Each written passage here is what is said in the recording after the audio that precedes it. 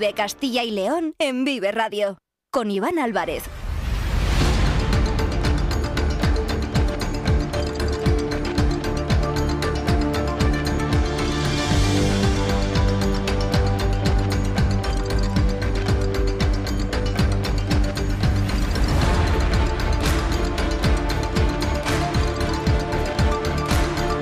Son las dos y cuarto de la tarde. Seguimos en la sintonía de Vive Castilla y León. Sean bienvenidos los que se sumen ahora a la sintonía de Vive Radio. Ya llevamos desde la una en punto contándoles todos los asuntos que son noticia hoy en eh, Castilla y León. Y vamos a seguir 45 minutos más hasta las 3 de la tarde. Ya saben que nos pueden escuchar a través de la FM de toda la vida, en nuestra página web www.viveradio.es, en todas nuestras plataformas de streaming y de podcast y en las redes sociales de Vive Radio, como siempre, con el sonido perfecto de nuestro técnico Ángel de Jesús. Vamos a hablar, lo vamos a hacer enseguida, sobre este Estatuto de Autonomía de Castilla y León que celebra su 41 aniversario. Esta mañana se ha celebrado una acto institucional en las Cortes de Castilla y León, un encuentro en el que se han congregado los representantes de distintos ámbitos de la comunidad y en el que se ha entregado la medalla de oro de la institución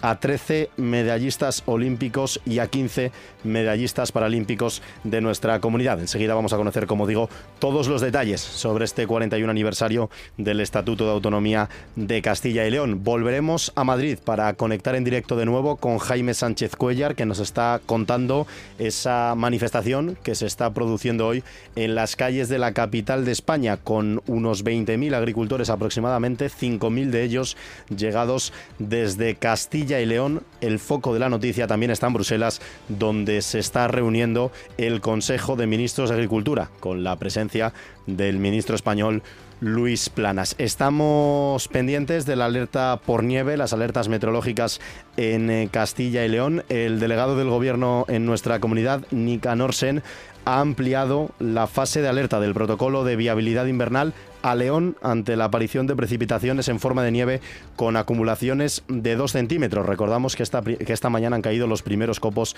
en la capital leonesa. De esta forma, a estas horas también se mantienen siete zonas de la comunidad con avisos. Burgos, en la cordillera cantábrica, León, también la cordillera cantábrica, y Palencia se mantiene el nivel naranja con previsión de acumulaciones de hasta 20 centímetros por encima de los 1000 metros. Nivel amarillo en Ávila, en el sistema central, también en Segovia y en Burgos y en Soria, en este caso en, la, en el sistema ibérico, donde se esperan acumulaciones de hasta 5 centímetros de nieve, según los avisos de la Agencia Estatal de Meteorología. Y también vamos a viajar hasta Palencia para conocer el Palencia Sonora, ese festival que se celebra en la capital palentina y del que hoy hemos conocido ya cuál es su cartel definitivo. Están escuchando Vive Castilla y León, son las 2 y 18, seguimos hasta las 3.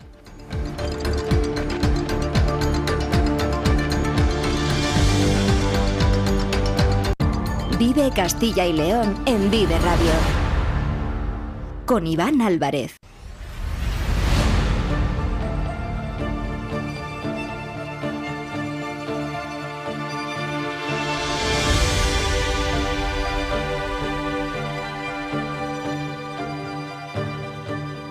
Y como les comentaba, esta mañana uno de los focos principales de atención en Castilla y León ha estado en las Cortes, donde se ha celebrado ese acto institucional para conmemorar el 41 aniversario del Estatuto de Autonomía de Castilla y León. Un acto que ha seguido en primera persona en las Cortes de Castilla y León David Alonso. David, ¿qué tal? Muy buenas tardes. Muy buenas tardes, Iván. Donde se ha premiado, como decimos, a 28 deportistas de nuestra comunidad, deportistas olímpicos y, y paralímpicos que han conseguido medallas en la historia de los Juegos. Además, coincidiendo con que este verano se celebran los Juegos Olímpicos en París. Vamos a recordar los nombres y vamos a comenzar con esos 13 deportistas olímpicos que han sido hoy homenajeados, que son Lidia Valentín, Manuel Martínez, Narciso Suárez, Guillermo del Riego, José Luis Llorente, Fernando Hernández, Juan García, José Manuel Beirán, Laura López Valle, Miriam Blasco, Raúl González, Juan Carlos eh, Pastor y Fermín Cacho, que es el que ha puesto voz a sus compañeros para agradecer a los procuradores que hayan pensado en el deporte para la concesión de esta medalla de oro de 2024 de Castilla y León. Trece deportistas olímpicos, David, y 15 medallistas paralímpicos. 15 medallistas paralímpicos que han sido galardonados son Alfonso Fidalgo, Juan Bautista, Julio Requena, José Fernando Sardina, Mariano Ruiz, Juan Damián Matos, Alejandro Sánchez, Enrique Sánchez Guijo, Marta Fernández, Purificación Santa Marta, Marta Arce, María Ángeles Fernández, María Teresa Herreras y Elena María del Rocío. Esos son los 15 deportistas paralímpicos que han sido homenajeados, que han sido premiados, como decimos hoy, en las Cortes de Castilla y León. Pero el acto, más allá de esta entrega de medallas, David, también nos ha dejado, lógicamente, algunas comparecencias. En primer lugar, del presidente de las Cortes de Castilla y León, de Carlos Pollán. Sí, ha sido un acto que ha comenzado con un emotivo minuto de silencio en recuerdo de las víctimas, tanto del incendio en Valencia como de Sergio Delgado, el joven vallisoletano asesinado este sábado en Burgos. Y después han pasado uno por uno a recoger sus, distinciones los 13 medallistas olímpicos y 15 paralímpicos que acabamos de mencionar, con su correspondiente ovación y foto de familia posterior. Después, el presidente de las Cortes, Carlos Pollán, ha tomado la palabra para pronunciar su discurso en este 41 aniversario del Estatuto de Autonomía, que recordemos, la fecha exacta del aniversario fue ayer domingo, 25 de febrero, y hoy se ha celebrado el acto, en una intervención de poco menos de 30 minutos que Pollán ha dividido en dos partes bastante bien marcadas.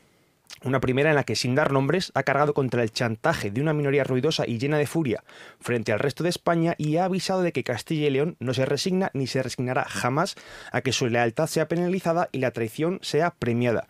También Pollán ha alertado de que Castilla y León jamás se sumará a esa carrera victimista, aunque eso no significa mirar hacia otro lado cuando se infringen las, eh, reglas. Perdón. Permitan, permítanme que les señale otra obviedad. La obviedad de que dura ya demasiado el chantaje de una minoría ruidosa y llena de furia frente al resto de la nación, siempre con su ristra inacabable de agravios comparativos. Castilla y León jamás se sumará a esa carrera victimista cuya única meta posible es la frustración sin remedio. En esta tierra se estila el juego limpio. Tras esto, Pollán ha querido poner en valor el legado histórico que Castilla y León atesora y ha insistido en que la comunidad ha contribuido de un modo decisivo a la formación de España.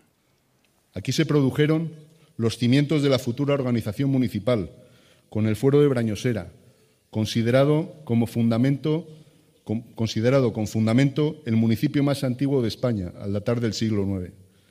Ávila y Salamanca registran las huellas más primitivas del castellano, mientras Burgos y León acreditan los primeros testimonios escritos de una lengua con 500 millones de hablantes hoy. En estas tierras se fundaron las primeras universidades de España, con Valladolid y Salamanca compitiendo en buena lid por el honor de ser la más antigua.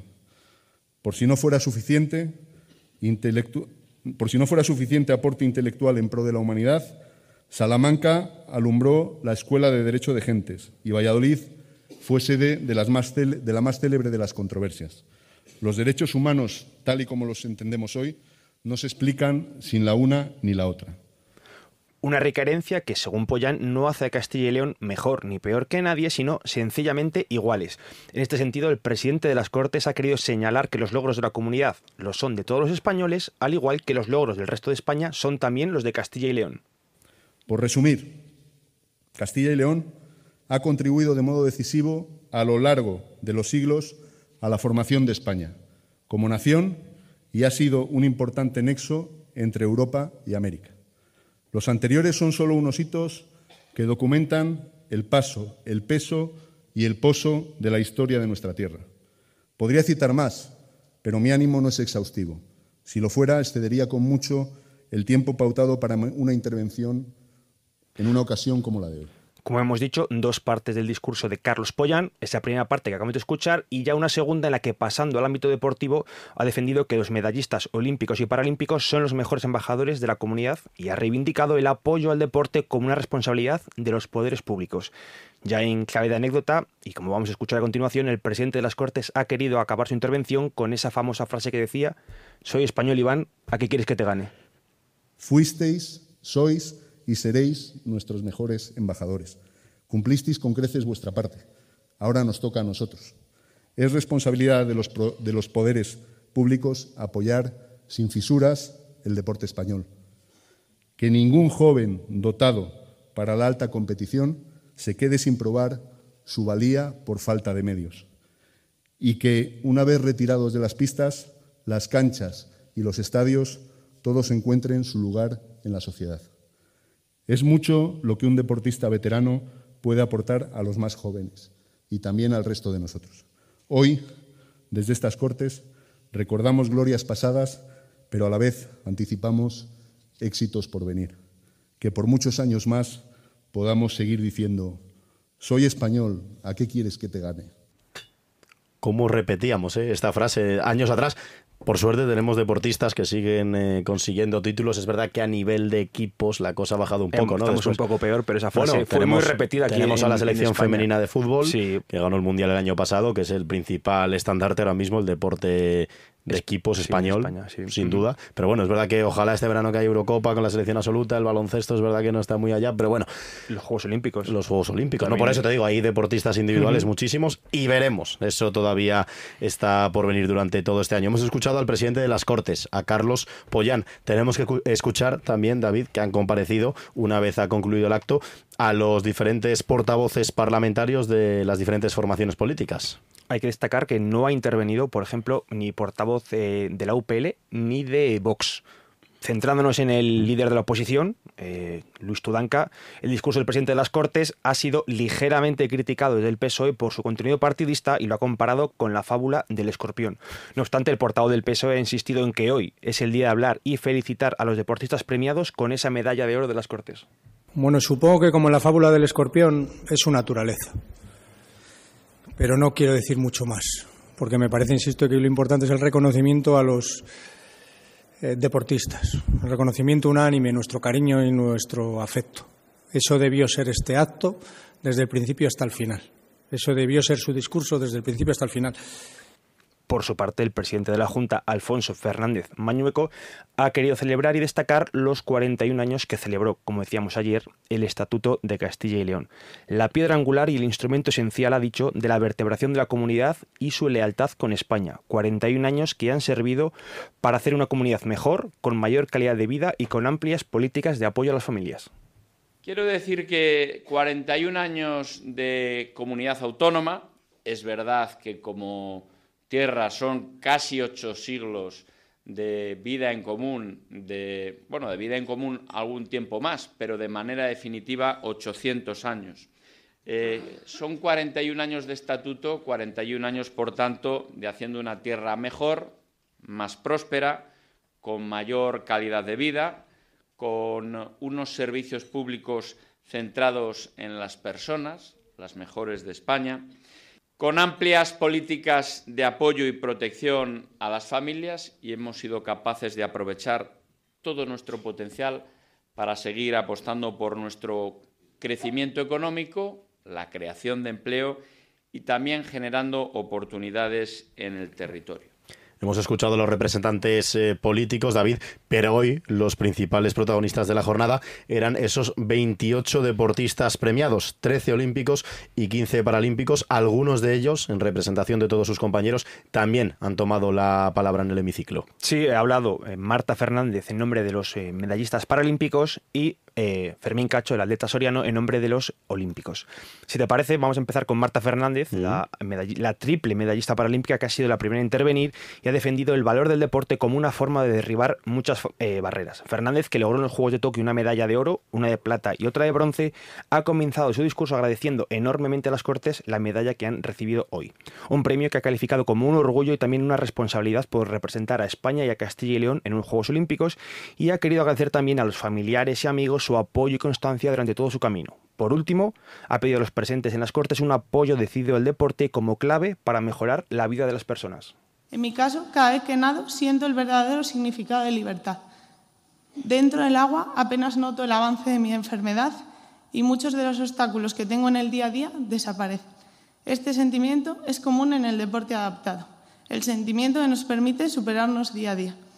Por otro lado, quiero dar las gracias a los deportistas pioneros, por abrirnos camino. Vosotros apostasteis por el deporte, por cumplir todo lo que soñasteis y fuisteis derribando cada obstáculo. y cada barrera que os encontrabais, ganando más y más derechos. Gracias a todo ello, los que practicamos deporte en la actualidad tenemos muchos medios y recursos, como por ejemplo grandes instalaciones, las becas ADO o el reconocimiento de deportistas de alto nivel.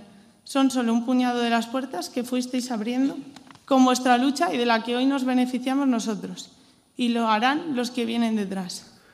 Como hemos comentado, después de Fernández, el atleta soriano Fermín Cacho fue el encargado de hablar en nombre de esos 13 deportistas olímpicos premiados y quiso, al igual que Marta Fernández, en primer lugar agradecer a las Cortes la distinción, que también ha calificado como todo un honor. Cacho ha dejado, ha dejado claro que los premiados de esta jornada son una pequeña representación de los miles y miles de deportistas que hay en Castilla y León Además, ha contrapuesto los valores del deporte, como la concordia, el respeto la tolerancia, con los tiempos convulsos, ha dicho, que se viven en la política actual. Por último, el medallista olímpico quiso mandar un mensaje a los niños y niñas de la comunidad, a los que ha animado a pelear duro por sus sueños. Nosotros, los 13 olímpicos y 15 paralímpicos, hoy reconocidos, somos una pequeña representación de otros miles y miles de generaciones de deportistas de nuestra tierra, que al igual no han conseguido medalla en los Juegos, pero que han sido un ejemplo de deportividad tan digno como cualquiera de nosotros. Va también por ellos y pido a todos ustedes un caluroso aplauso. Podría hablarles durante horas, incluso días, de las bondades del deporte, tanto a título individual para quien lo practica como a nivel colectivo, para, colectivo para nuestra sociedad. Permítame centrarme en este segundo aspecto, el beneficio para la sociedad, que es además lo que la medalla de oro de las Cortes pretende reconocer. Bueno, pues este ha sido el reconocimiento, como decimos, en las Cortes de Castilla y León, el día en el que se conmemora ese 41 aniversario del Estatuto de Autonomía de Castilla y León, con la medalla de oro de la comunidad para 28 deportistas, 13 olímpicos, 15 paralímpicos, que ha estado siguiendo en directo y que nos acaba de contar en la sintonía de Vive Castilla y León, David Alonso. David, felices 41 años del Estatuto de Autonomía de Castilla y León. Como se suele decir, por otros 41 años más. Y que los vivamos. Y que los veamos aquí juntos. que los veamos juntos. Las 2 y 32, seguimos hasta las 3 en Vive Radio. En CESIP nos importa tu empleo, la precariedad y tus pensiones. Hemos liderado importantes avances como las 35 horas o la carrera profesional, pero son numerosos los desafíos. Por eso te mereces un sindicato independiente, plural, abierto y profesional. En CESIP nuestras propuestas son las tuyas, porque si tú no te conformas, nosotros tampoco. Alcemos la voz. Vota CESIF. Vive Castilla y León en Vive Radio. Con Iván Álvarez.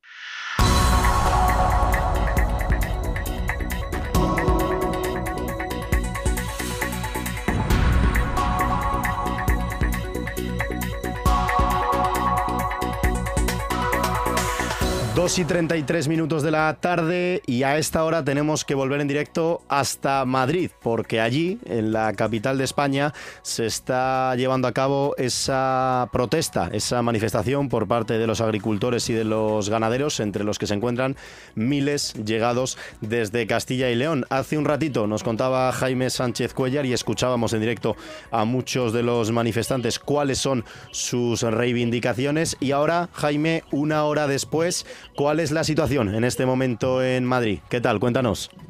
Buenas tardes, Iván. Pues estamos en el Paseo de la Castellana. Ya hemos llegado a la sede de la Comisión Europea aquí en Madrid, a las oficinas, y se está procediendo ahora mismo a la lectura de las reivindicaciones de las organizaciones agrarias. Están interviniendo los líderes de las tres organizaciones agrarias que convocan a Saja, UPA y COAG aquí en este Paseo de la Castellana las propias organizaciones hablan de más de 30.000 personas. Habrá que ver luego la cifra también que aporta la delegación de gobierno, pero el respaldo eh, es mayoritario.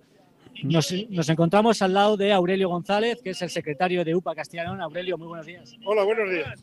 Bueno, ¿cómo valoras, cómo ves que ha sido la respuesta de Castilla y León a esta manifestación en Madrid? Bueno, la respuesta de Castilla y León ha sido espectacular, porque calculamos que de las 30.000 personas o más de 30.000, en torno a 8 o 10.000 personas pueden haber venido de Castilla y León.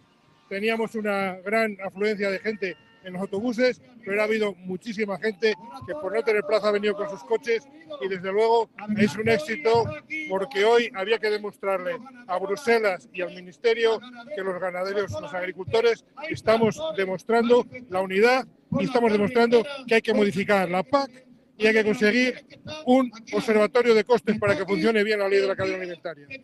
Aurelio, supongo que muy pendientes esta tarde, en el día de hoy, de lo que pueda acontecer en Bruselas. Sí, totalmente. Nosotros nuestro trabajo lo hemos hecho hoy para que los ministros de, Agricultura de la Unión Europea vean lo que es el clamor del campo, que estamos en contra de esta PAC. Y, ahora lo que nos toca es ver qué es lo que proponen, qué es lo que acuerdan hoy, cómo, nos van a trasladar las mesas de trabajo, lo que hay y, bueno, pues vamos a desarrollar esas mesas de trabajo y si no hay resultados, pues habrá que volver otra vez. Muchas gracias.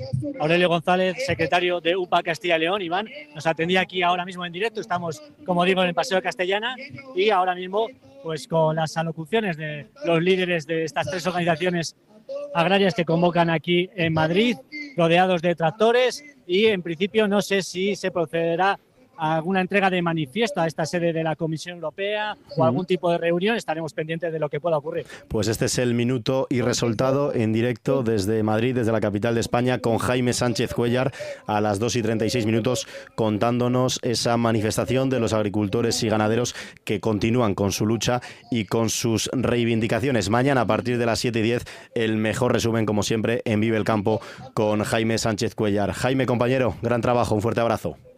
Un abrazo, gracias.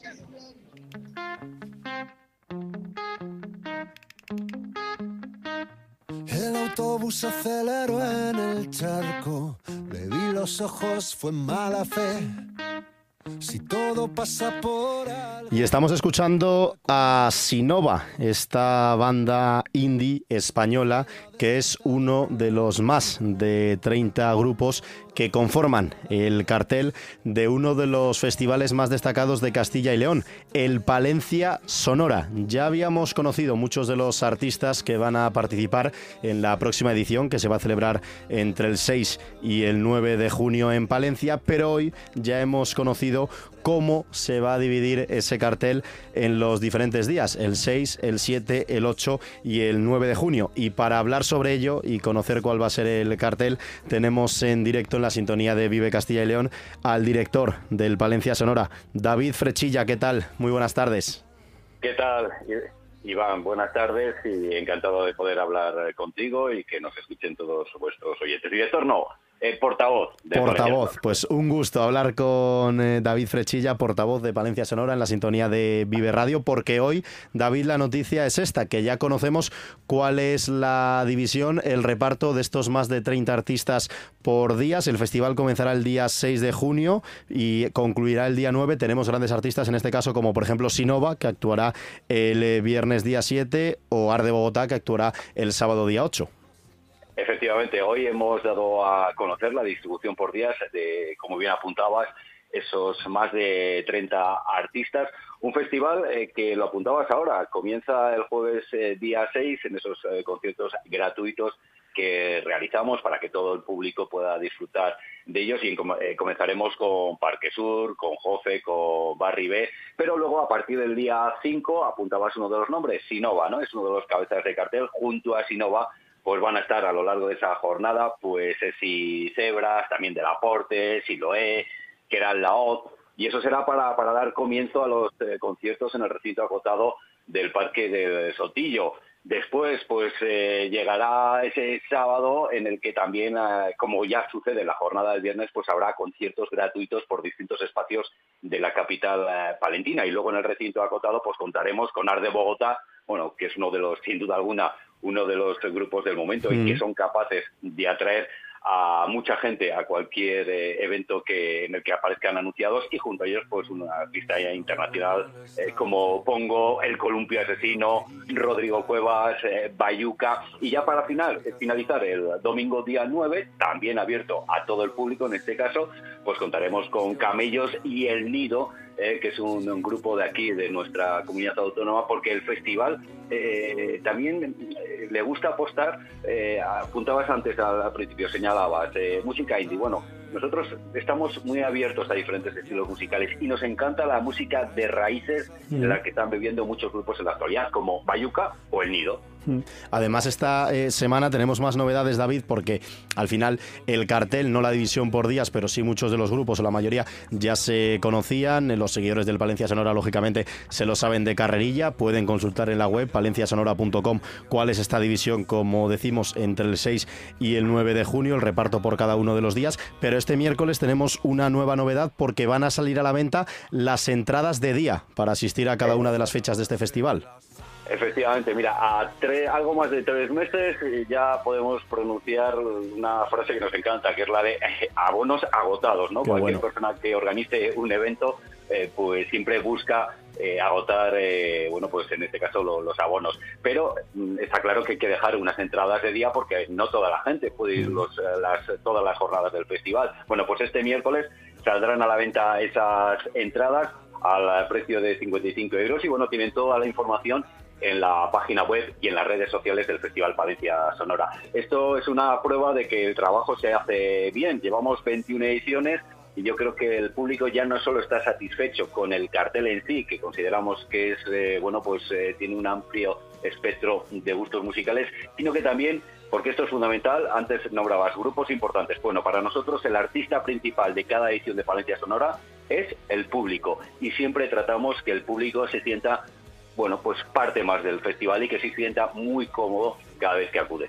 Y ya la última, eh, David, te quería preguntar también por las facilidades que se ponen desde la propia organización del festival a todos los asistentes, por ejemplo, con esos autobuses lanzadera, en este caso, entre Palencia y Valladolid, una de las ciudades eh, cercanas para poder disfrutar durante todos estos días, sobre todo con esos autobuses el viernes y el sábado, para facilitarle a todos los asistentes que puedan desplazarse y que además no tengan que depender del coche.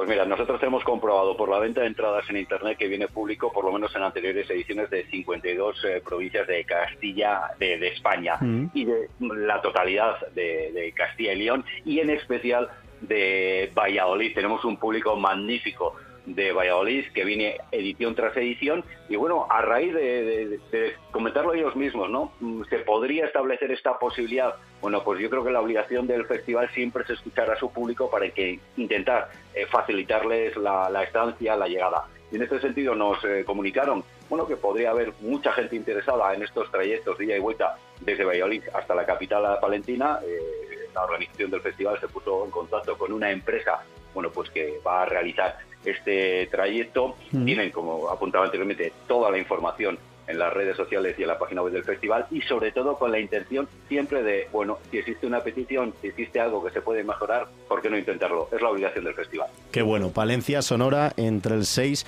y el 9 de junio en Palencia, sin duda uno de los festivales de referencia, no solo en Castilla y León, sino en todo el país. Volveremos a hablar seguro con David Frechilla cuando se vaya acercando las fechas del festival para conocer más sorpresas y todo lo que nos va a deparar el próximo mes de junio en Palencia. David, muchísimas gracias y que sea todo un éxito esta nueva edición de Palencia Sonora. Un fuerte abrazo.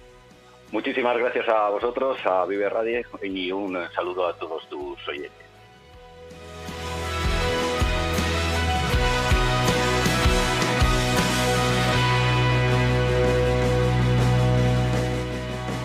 El viernes pasado hablábamos en este mismo programa, en Vive Castilla y León, sobre la Feria Internacional de la trufa, que se iba a celebrar durante el fin de semana en el municipio de Abejar, en la provincia de Soria. Charlamos unos minutos con la alcaldesa de esta localidad, que nos estuvo contando la importancia de este evento para Abejar y para la comarca de Pinares, porque esta Feria Internacional de la Trufa es la más antigua de España y este producto micológico pertenece a un sector que mueve 33 millones de euros en Castilla y León. Uno de los eventos principales del fin de semana era sin duda el concurso gastronómico nacional de la trufa negra. Cocineros llegados desde Segovia, Valladolid, Burgos, Barcelona, Madrid, Castellón o la misma provincia de Soria se retaban con el objetivo de construir una receta deliciosa con esta verdadera joya negra de la cocina como es la trufa. Y el premio se quedó en casa, en Castilla y León.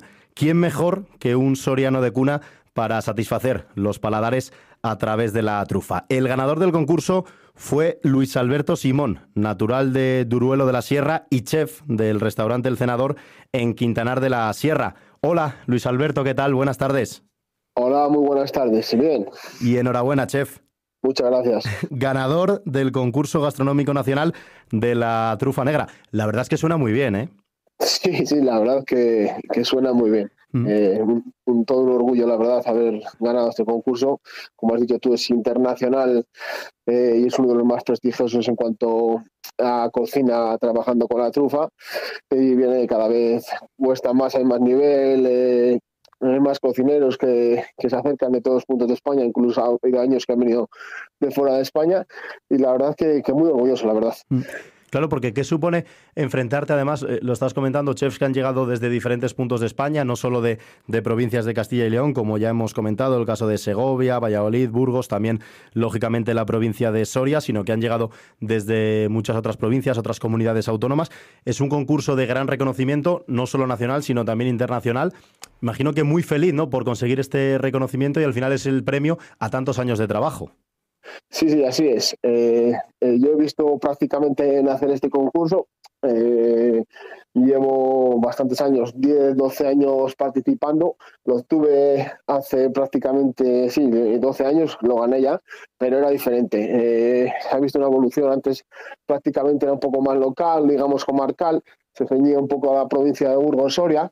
Y en estos 10 años ha sido el auge de, cocineros nuevos que han venido, vienen muchos con estrellas Michelin, Sol y Resol, este año había la presencia de dos estrellas Michelin, varios Sol y Resol, el año pasado eh, ganó el restaurante Aminium de Valladolid, que tiene la estrella Michelin, eh, vamos, eh, cada vez hay más repercusión, no solamente por el reconocimiento el reconocimiento que tiene el concurso, luego el premio económico es bastante goloso, de los concursos que hay a nivel nacional, pues es el de mayor cuantúa. Yo personalmente no, no, voy por el dinero. Eh, mm. Yo me lo tomo un poco como toma de contacto también con varios cocineros, eh, porque date cuenta que coincidimos en estos eventos que son muy cortos de tiempo y con, coincides con muchos cocineros a nivel nacional. y eh, también se lo toma pues, entre viejos amigos del mundo de la trufa.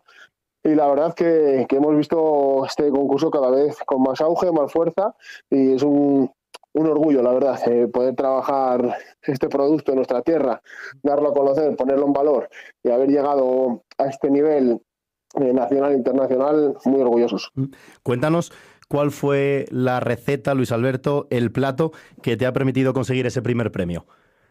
Pues la receta fue un mar y montaña trufado. Eh, en principio, yo hasta prácticamente los últimos días no lo tenía muy claro porque me estaban fallando algún ingrediente de los que iba a hacer.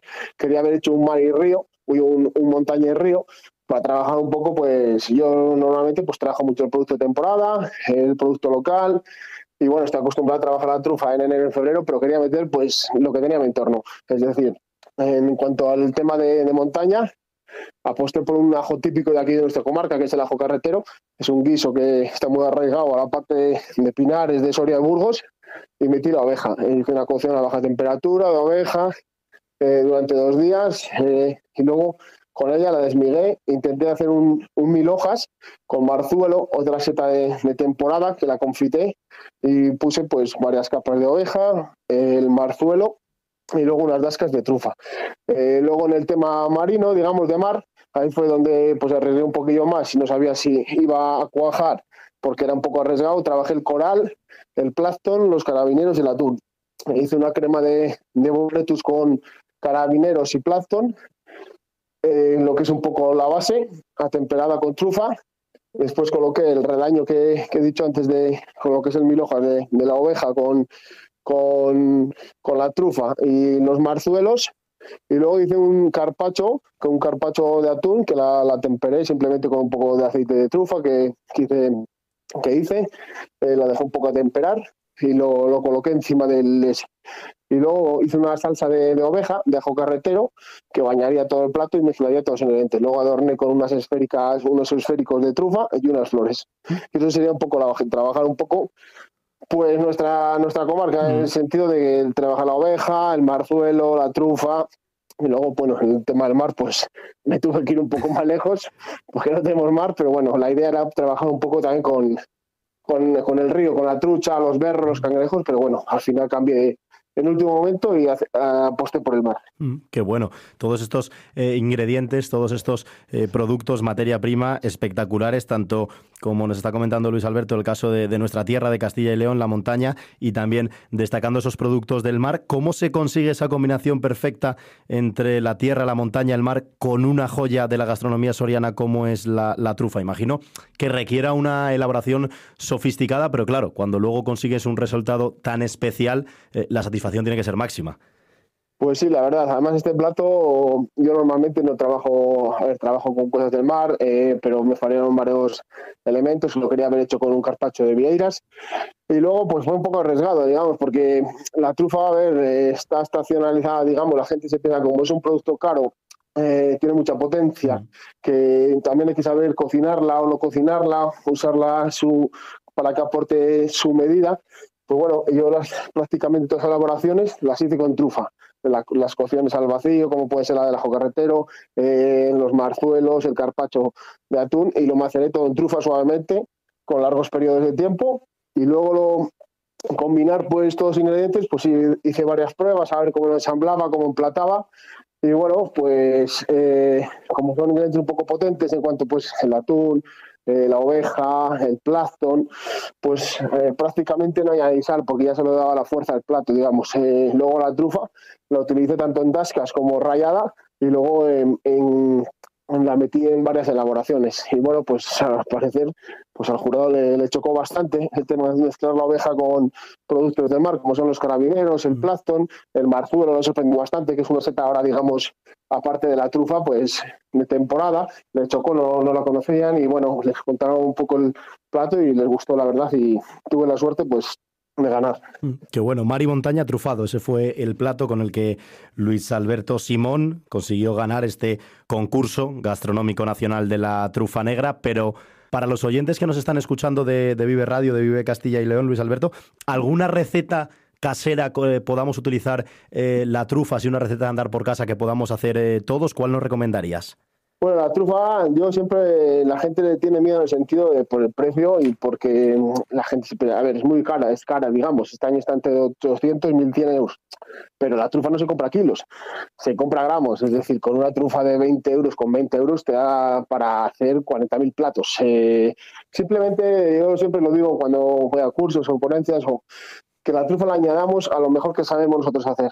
Es un producto que es aromatizador, y sirve para siempre los acabados normalmente. Para los postres viene muy bien en frío, es decir, la trufa cuando pasa a los 50, 60 grados pierde muchas características de potencia, de sabor, e incluso pues hay veces que podemos amargar un cocido porque tiene unos colores y unos aromas un poco pues fuertes, digamos. Entonces yo lo que aconsejo, mejor que una receta, pues tu mejor plato que te salga a ti en casa, simplemente cuando le he acabado, rayar un poco de trufa, eh, unas dascas de trufa, y ya estaría. Y luego, pues bueno, viene muy bien los arroces, eh, para las pastas, por ejemplo, unos macarrones, hacemos unos macarrones, eh, aparte hacemos un sofrito de cebolla, añadimos un poquito de nata, un poquito de trufa al final y tendremos unos macarrones gratinados en un momento pues con trufa. Siempre al acabado, más que aplicarla a una receta, ¿sabes? Eh, en todas las recetas va a venir bien. Mm. hacemos unos garbanzos, un cocido, siempre al final, pues rayamos un poco y ya estaría. Es como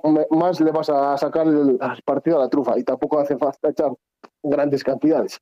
Simplemente por pasar un poco rallador estaría. Estás hablando, Luis Alberto, de, de, cocido, de macarrones, es la hora de comer y, la verdad es que se me está haciendo la boca agua. Te quería hacer una última porque estamos hablando lógicamente contigo después de llevarte ese primer premio en el concurso gastronómico nacional de la trufa negra, en la Feria Internacional de la Trufa de Abejar en la provincia de Soria, pero eres el chef del restaurante El Cenador en Quintanar de la Sierra, en la provincia de Burgos. Cuéntanos un poco qué tipo de cocina, cuáles son los platos típicos en el restaurante El Cenador para todo el que quiera probar tus recetas en primera persona?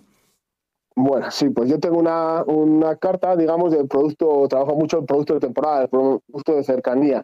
Voy cambiando muchos platos, bueno, una cocina tradicional, pero con toques de vanguardia. Eh, también tengo el menú del día, el menú fin de semana, luego hacemos menús de gustación. En cuanto a las jornadas micológicas, estoy metido en Eurotoques, en el Buscasetas, y bueno, pues es uno de los únicos, de los pocos restaurantes por aquí con la comarca que sí apostando, digamos, por el menú buscasetas. Eh, tengo una carta con más de 50 platos, de los cuales 20, 25 tienen ingredientes micológicos. Yo intento ser un restaurante micológico, intento trabajar mucho la micología. Eh, tenemos la suerte aquí de contar con micología prácticamente durante todo el año. Y bueno, pues eh, un poco de cocina, digamos, de, tradicional, eh, desde cocina de toda la vida de la abuela, digamos, desde el menú del día hasta la carta un poco más elaborada, que tengo platos, pues, pues como este que hemos hecho para el concurso. Este es un símil de varios platos que tengo en mi carta. Y nada, no me cierra nada, digamos. es un poco, pues, voy intentando no dejar de lado nada. Qué bueno. Pues él es Luis Alberto Simón, como decimos, se llevó el primer premio, ganador de ese concurso gastronómico nacional de la trufa negra y además es el chef del restaurante El Cenador en la provincia de Burgos, en la localidad de Quintanar de la Sierra. Enhorabuena, chef, y ha sido un gusto compartir estos minutos contigo. Un fuerte abrazo. Vale, muchas gracias, igualmente. Pues ahí está, Luis Alberto Simón. Sin duda teníamos que felicitarle y darle la enhorabuena en la sintonía de Vive Radio, de Vive Castilla y León. Y hay que destacar también que en este concurso gastronómico nacional de la trufa negra también se subió al podio otra chef de nuestra tierra, Alejandra Paz, del restaurante La Chistera en Soria, acabó en segunda posición con un plato que se denominaba de gala en este concurso gastronómico nacional de la trufa, que como decimos, con eh, cocineros y chefs llegados desde diferentes puntos de España y también de provincias de Castilla y León, como Segovia, Valladolid, Burgos o la misma provincia soriana. Nos vamos a despedir conociendo la previsión del tiempo. Hoy muy pendientes de los avisos y de las alertas por nieve en varias provincias de Castilla y León. Daniel Angulo, compañero, buenas tardes. Hola, muy buenas tardes Iván, muy buenas tardes amigos oyentes de Vive Radio y Vive Castilla y León. Ayer domingo tuvimos un día de esos borrascoso, de tiempo duro, invernal, con el viento, la lluvia como protagonista. No se podían utilizar los paraguas porque hubo rachas de viento que llegaron a alcanzar los 80 kilómetros por hora. Y sobre todo lluvioso porque empezaban las lluvias ya por la mañana a afectar al norte de León, noroeste de Zamora, luego en Palencia fueron afectando también a Burgos y ya por la noche al sur, al sur de Salamanca, y cantidades importantes sobre todo en las zonas montañosas. Estos vientos del suroeste estancan las nubes en las sierras de la demanda, en la sierra de Urbión. Por eso, por ejemplo, en Vinuesa, provincia de Soria, se llegaron a recoger hasta 65 litros por metro cuadrado, pero en la demanda, en Monterrubio de la demanda, en la provincia de Burgos, hasta 58. También en Villablino, que estuvo lloviendo toda la mañana y madrugada, se llegaron a recoger 52 litros. En la Cobatilla, en Salamanca, 38 litros por metro cuadrado fueron cantidades, como digo, importantes. ya fuera de las zonas de montaña también estuvo nevando de forma abundante. En las capitales se recogieron de media entre 7 y 8 litros por metro cuadrado. Y hoy pues hemos amanecido con cielos despejados, lucía el sol, pero ya ha empezado a entrar la nubosidad del norte, porque siguen entrando vientos del Atlántico que nos siguen trayendo nubes. Y ojo ya esta tarde y esta noche, porque ya los vientos del oeste van a ir girando al norte. Y eso va a traer nevadas. Esperamos ya nevadas esta próxima madrugada. Atención en zonas del norte de Palencia, norte de Burgos, incluso en la próxima madrugada puede nevar de forma esporádica en la capital, solo que le va a costarle que, cuajes en las capitales de provincia. Pero insisto, nevadas importantes, norte de Burgos, norte de eh, Soria y también en la Sierra de la Demanda. Allí las nevadas esperan incluso que espesores de, de, 10 centímetros. En las capitales de provincia, como Burgos, Soria, también puede haber chubascos de nieve y temperaturas que van a ir bajando progresivamente a partir de la próxima madrugada y sobre todo mañana. Mañana un día de vientos del norte con cielos muy nubosos, nevadas por zonas montañosas del norte, del sistema central, del sur de Segovia también, del sur de Ávila y chubascos esporádicos, por ejemplo en Soria, en Burgos, se verán serán esporádicos, como digo, y ambiente frío. Mañana temperaturas máximas que van a estar pues entre los 5, 7 grados y con sensación inferior debido a ese viento del norte que va a estar acompañándonos durante toda la jornada. Es una situación muy típica del norte, eh, pero esta vez no viene con el suficiente aire frío en altura para dejar nevadas muy abundantes, excepto en las que decimos del norte de Burgos y las zonas montañosas también del norte de Soria en, la sierra. En el resto serán más bien eh, situación esporádica. Ya mañana va a ir subiendo la cota de nieve según avance el día, puesto que eh, va a entrar aire más templado en capas altas de la atmósfera y en días siguientes nos vendrá a visitar un nuevo frente ya con temperaturas más altas.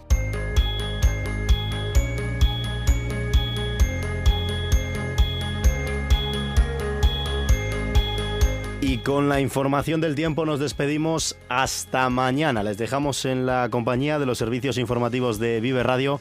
Nosotros volvemos mañana martes a partir de la una en la sintonía de Vive Castilla y León. Pasen buena tarde, sean felices. Hasta mañana, adiós.